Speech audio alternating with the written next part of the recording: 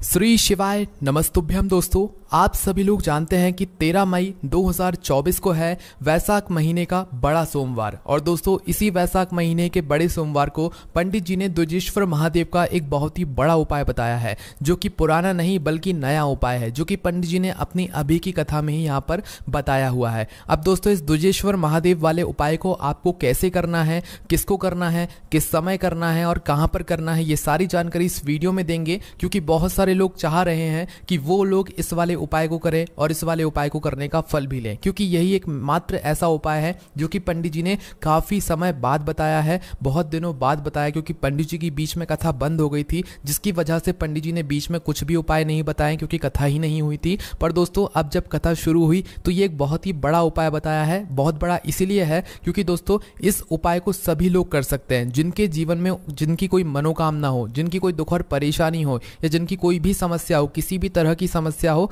सारी प्रकार की दुख और परेशानियों के लिए आप इस दुजेश्वर महादेव वाले उपाय को कर सकते हैं। बस दोस्तों, इस उपाय को आपको अच्छे से करना पड़ेगा, सही से करना पड़ेगा और समझना पड़ेगा। तो चलिए दोस्तों, जानते हैं कि इस दुजेश्वर महादेव वाले उपाय को आपको कैसे करना है। सबसे पहली चीज़ दोस्तों, यह उपाय बहुत आसान है, पर दोस्तों, जो उपाय इस मतलब जो व्यक्ति इस उपाय को अच्छे से सुनेगा, वही इस उपाय को अच्छे से कर भी पाएगा, है ना? तो देखो, सबसे पहली चीज़, ये वाला जो उपाय है, ये एक दिन नहीं होगा, ये लगातार पाँच छः दिन तक आप लोगों को करना पड़ेगा। ऐसा नहीं कि सिर्फ़ आपने सोमवार के दिन कर लिया। विशेष रूप से ये वैसाख महीने का सोमवार है, इसलिए हम आपको बता रहे हैं। बाकी आप ये उपाय जिस दिन भी सुन रहे हो, भाई, उस दिन से लेकर आप पाँच छः दिन तक आप लोग ये वाला उपाय लगातार करना। आपको इस उपाय को करने का फल ज़रूर मिलेगा। अब इस उपाय में आपको करना क्या है, वो आप लोग सबसे पहले यहाँ पर सुन लीजिए। देखिए, इस उपाय को करने के लिए सबसे पहले आपको एक लोटा जल यहाँ पर लेना पड़ेगा। देखो, वैसाख का महीना है, पंडित जी ने वैसे ही बोलकर रखा हुआ है कि इस वैसाख के महीने में आप साधारण जल ना लेकर आप लोग मिट्टी का जल लिया करो, है ना? मिट्टी का जल लेने का तरीका ये होता है कि हम प्रतिदिन रात्रि में एक मिट्टी के पात्र में शुद्ध जल भरकर रख दें और उसे पूरी रात भर अपने ही घर के रसोई घर के में मतलब भरे हुए रखे रहने दें। उसके बाद जब सुबह होती है तो सुबह उस जल को अपने तांबे के लोटे में भरकर इसे फिर हम शिव जी के मंदिर में जाकर चढ़ा कर आए, ठीक है? तो इस उपाय में आप लोग इसी जल का प्रयोग करना, बाकी आप इस जल में साधारण जल का भी प्रयोग कर सकते हो। रोज सुबह जहाँ आप अपने घर के परिंडे से जो पानी लेते हो, वो भी ले सकते हो, कोई दिक्कत वाली बात नहीं बस अपना एक लोटा जल भरकर जो है तैयार कर लेना। और दोस्तों, इस उपाय को विशेष रूप से घर की जो बड़ी माताएँ बहनें होंगी, उन बड़ी माताओं बहनों में से किसी भी एक माता बहन को करना है। अगर किसी कारणवश घर में माताएँ बहनें उपस्थित ना हो तो उस जगह पर फिर घर का कोई बड़ा सदस्य भी इस उपाय को कर सकता है, कोई दिक्कत वाली बात नहीं है। इस उपाय को घर के सभी सदस्यों को करने की ज़रूरत नहीं है, इस बात का ध्यान रखना, है ना?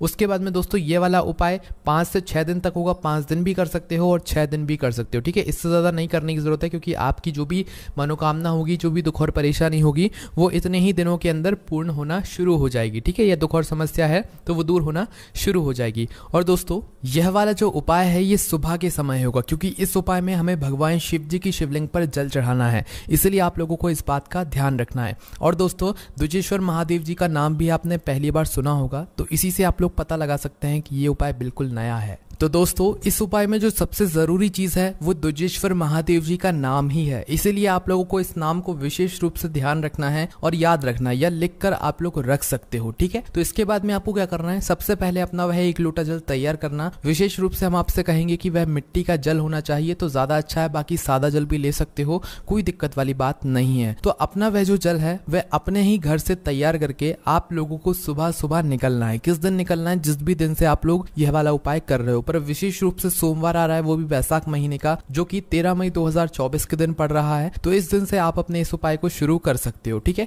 तो सबसे पहले दिन आप लोगों को सुबह सुबह उठना है, अपना जो जल है, उस जल के पास में जाना है, जो जल आप लोग रात्रि में रखोगे, वो अपने घर के परिंडे के पास में रखोगे, इस बात का ध्यान रखना। तो जैसे ही आप लोग अपने घर के परिंडे के पास में आते हो तो भाई इसके बाद में आपको अपने जल को लोटे के अंदर डाल लेना है, और डालने के बाद में क्या करना है कि इस जल को तैयार करके शुद्धता का विशेष रूप से ध्यान करके, स्नान करके आप लोगों को इस एक लोटे जल को लेकर शिव जी के मंदिर पहुँच जाना है। इसके अलावा जो भी आप पूजन सामग्री लेकर जाना चाहें, वो लेकर जा सकते हैं। उसमें कोई भी अलग दिक्कत वाली बात नहीं है।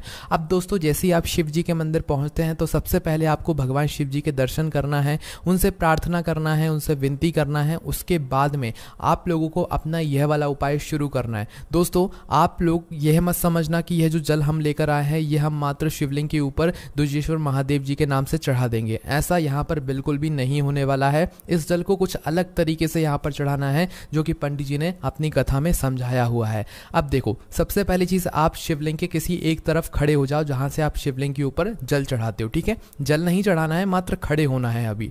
उसके बाद में दोस्तों, आप सबसे पहली चीज़ ये देखना कि शिवलिंग पर जब हम जल चढ़ाते हैं तो जल बहता हुआ जलाधारी से नीचे गिरता, गिर जाता है। तो आपको ये वाला जो जल है, ये शिवलिंग के ऊपर नहीं चढ़ाना है अभी। पहले चढ़ाना शुरू कहाँ से करना है? जहाँ से जल बहता है और जलाधारी से बिल्कुल नीचे गिरता है। वो जो स्थान जहाँ से जल बिल्कुल नीचे गिरता है, जलाधारी के ऊपर, ठीक है? तो उस जगह से आप लोगों को ये वाला जल चढ़ाना शुरू करना है। समझ गए आप लोग? जहाँ से जल बिल्कुल जलाधारी से नीचे गिरता है, ठीक है? तो उस जगह से आप लोगों को अपना वह एक लोटे में से एक धारा से, धारा बनाकर, धारा तोड़ना नहीं है, धारा बनाकर जो है जल चढ़ाना शुरू करना है, ठीक है? जल जब आप चढ़ाना शुरू करोगे तो भाई आप लोगों को शिवलिंग के पूरे गोलम गोल से होते हुए एक धारा से बनाते हुए, बस शिवलिंग के ऊपर आप लोगों को जल नहीं चढ़ाना है और शिवलिंग के पूरे गोलम गोल की जलाधारी को जो है, आप लोगों को एक धारा से जो है जल चढ़ा चढ़ा कर वापस से उसी स्थान पर आ जाना है जहाँ सर, जहाँ से आपने जल को चढ़ाना शुरू किया था। ठीक है? अब दोस्तों, यहाँ पर जैसे ही आप लोग जलाधारी के पूरे गोलम गोल में एक बार एक धारा से जल चढ़ा देते हो, देखो यहाँ पर आपको धारा नहीं तोड़नी है। धारा जब आप शुरू कर दो तो भाई उस धारा को वापस यहीं पर आकर रोकना है और वहाँ पर भी नहीं रोकना है। आपको क्या करना है, वो हम आपको बताते हैं। तो देखो, जलाधारी से आपने जल चढ़ाना शुरू किया तो भाई पूरे गणेश जी वाले स्थान से होते हुए, शिवलिंग के पीछे से होते हुए और साइड से होते हुए वापस से आप लोगों को यहीं पर आ जाना है, जहाँ से आपने जल को चढ़ाना शुरू किया था, ठीक है? यहाँ पर आकर अपनी धारा को रोकना नहीं है, धारा को चढ़ाते रहना है, ठीक है? जल को मतलब चढ़ाते रहना है थोड़ा थोड़ा उसके बाद में दोस्तों, आप जिस तरफ़ खड़े हुए हैं, अपनी वह जल की धारा को धीरे धीरे करके उस तरफ़ लेकर आ जाइए मतलब उस जगह पर जलाधारी के ऊपर लेकर आ जाइए, ठीक है? आप जिस तरफ़ से भी जल चढ़ा रहे हैं, उस तरफ़ आप इस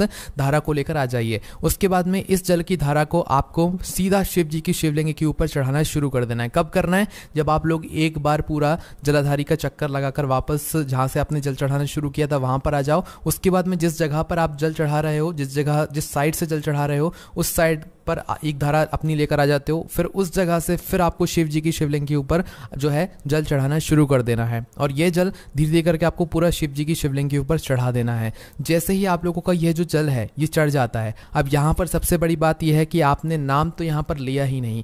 इस जल को चढ़ाते समय आपको दुजेश्वर महादेव जी का नाम लेते ही रहना है, रुकना नहीं है। जब तक आपका यह उपाय पूरा ना हो जाए दुजेश्वर महादेव जी का नाम आपको मन ही मन लेते रहना है या मुख से बोलते रहना है। आप विश्वास मानना इस उपाय को करने के बाद आप भगवान से अपनी जो मनोकामना बोलोगे, जिस कामना के लिए आप लोग अपना यह वाला उपाय कर रहे हो, भाई वह आपकी कामना बहुत ही जल्द पूर्ण होगी, ठीक है? पर दोस्तों, जब आपका ये जो जल है, ये चढ़ जाए, उसके बाद ही आपको मनोकामना बोलनी है। और जल को चढ़ाते समय, अपनी धारा को चढ़ाते समय शिव जी की शिवलिंग के ऊपर और जलाधारी के ऊपर दुजेश्वर महादेव जी का नाम आपको लेना ज़रूर है। अगर आप नाम नहीं लोगे तो फिर उपाय काम नहीं करेगा, वरना जल तो आप वैसे भी चढ़ाते हो, पर दुजेश्वर महादेव जी का नाम यहाँ पर बहुत ही अलग है। और इस उपाय का विशेष यहाँ पर वही फल देगा, ठीक है? तो इसीलिए आप लोगों को भगवान का नाम लेना है और फिर उसके बाद शिव जी की शिवलिंग के ऊपर जल चढ़ा देना है और चढ़ल चढ़ाने के बाद अगर आप भगवान से कोई मनोकामना बोलना चाहते हैं, अपनी कोई दुख और परेशानी बोलना चाहते हैं तो वह बोल दीजिए और अगर नहीं बोलना चाहते हैं, मात्र भगवान शिव जी को प्रसन्न करने के लिए आप लोग यह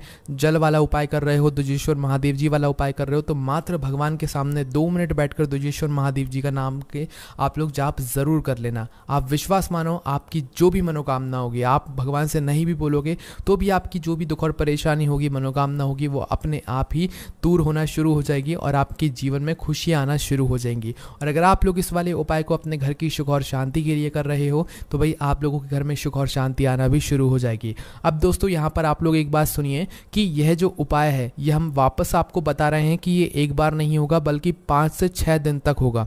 पाँच से छः दिन तक सुबह सुबह के समय ही आप लोगों को यह वाला उपाय करना है और सुबह के 10, 11, 12 बजे तक भी अगर आप उपाय करोगे तो भी आपको उपाय का फल मिलेगा पर इससे ज़्यादा देरी मत करना ठीक है? बस दोस्तों यहाँ पर यह वाला उपाय पूरा हो जाता है और इस उपाय को करने का जो फल है वो आपको बहुत ही जल्द मिल जाएगा क्योंकि आप इस उपाय को वैसाख के महीने में कर रहे हो। बाकी पंडित जी ने ऐसा कुछ भी नहीं बोला है कि आपको इस उपाय को इसी दिन करना है इसी महीने में करना है। आप इस उपाय को जब आपका मन करे जब कर सकते हो बस पाँच से छः दिन तक आप लोगों को इस उपाय को करना है। तो दोस्तों, यहाँ पर ये दुजेश्वर महादेव जी वाला उपाय पूरा हो जाता है। इस उपाय को करने में अगर आपको कोई भी दिक्कत, समस्या या परेशानी आती है तो उसे आप हमसे कमेंट करके पूछ सकते हैं। ओम नमः शिवाय, जय भोले श्री शिवाय नमस्तुभ्यम।